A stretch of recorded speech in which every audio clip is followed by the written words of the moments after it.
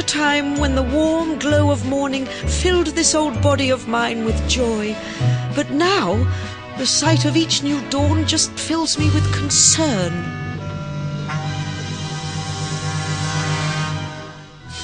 The sun is a cauldron of blazing hot gases. For more than four and a half billion years, its heat has kept us alive. But along with that warmth, there lurks a hidden danger.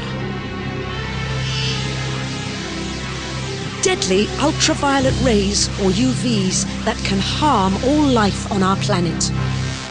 Luckily, we're protected by a brave little band of defenders at the very edge of space. The ozone molecules that make up our planet's ozone layer. Despite their tiny size, our ozone defenders are amazingly strong and smart.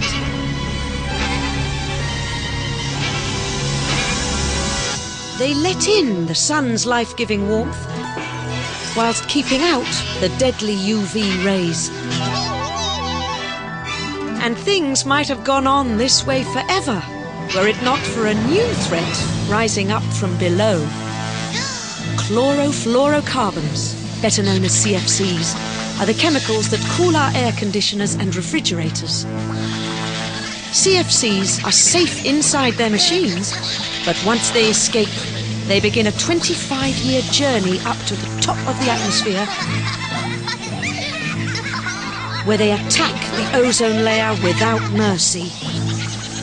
And once the ozone molecules have to fight the UVs and the CFCs, it's just a matter of time until the ozone layer weakens and breaks.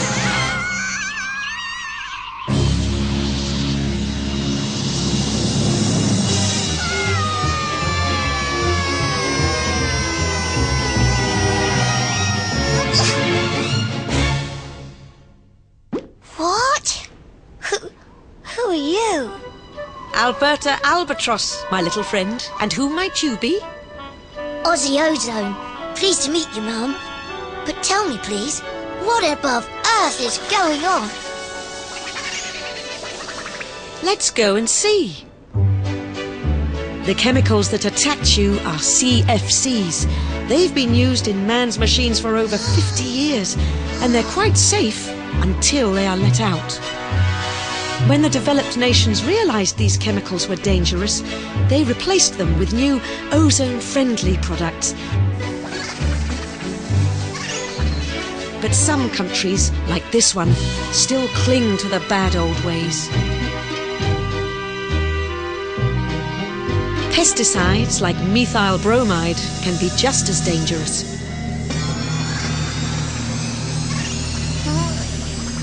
And industries aren't the only ones to blame.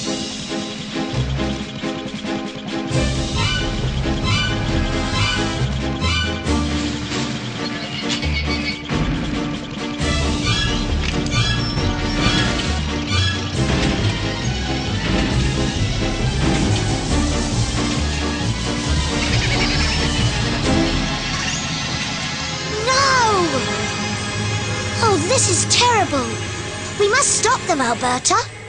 We can try. Excuse me, sir.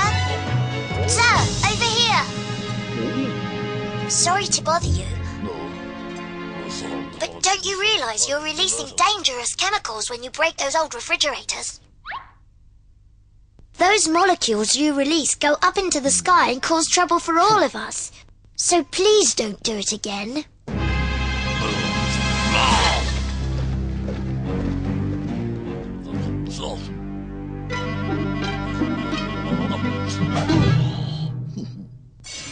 UV warriors, watch out!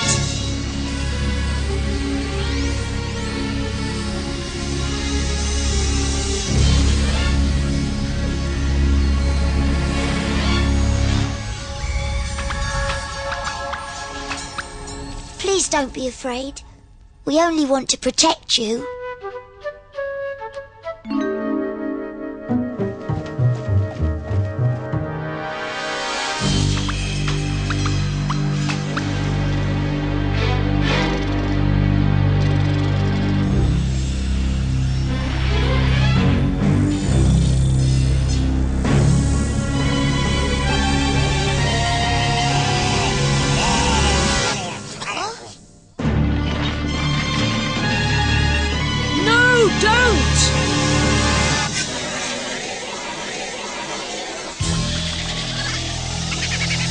Some fire extinguishers use halon molecules that also attack the ozone layer.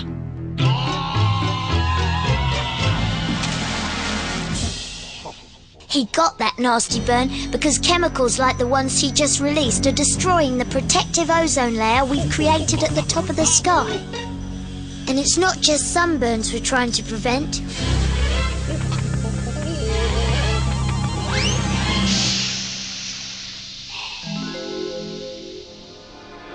UV rays wrinkle your skin and make you look much older. They cause cataracts on your eyes that can lead to blindness. And they can weaken the body's natural resistance to disease.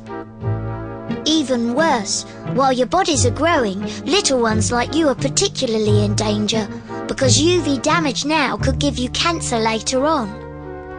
Don't be scared. This is serious business, but there are ways to defend yourself. Protect your skin by covering your arms and legs. Wear a hat to protect your face sunglasses to protect your eyes, and sunscreen for the rest. Stay indoors when the sun is high. And always try to stay in the shade. And ask your parents to make sure that their old refrigerators and air conditioners are disposed of by approved technicians, specially trained people who won't let the CFCs escape. It's important, not just for you, but for your children. Because even if no more bad chemicals are released into the atmosphere, it will take at least 50 years before we can fully repair the ozone layer. Will you help us? And now, Alberta, after all I've seen down here, I'd like to get back to work. Be sure to tell your parents, teachers and friends about the things you've learnt. And don't forget, boys and girls around the world can make a difference. Because when it comes to protecting the environment, every action counts.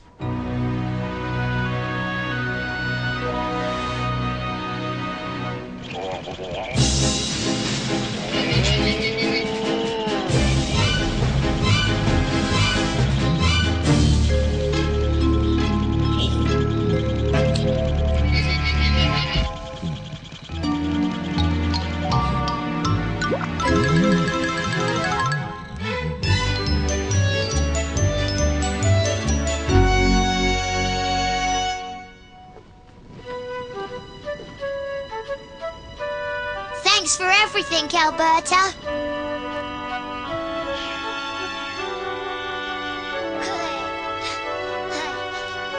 Thank you, Ozzy. Don't forget, boys and girls around the world can make a difference. Because when it comes to protecting the environment, every action counts.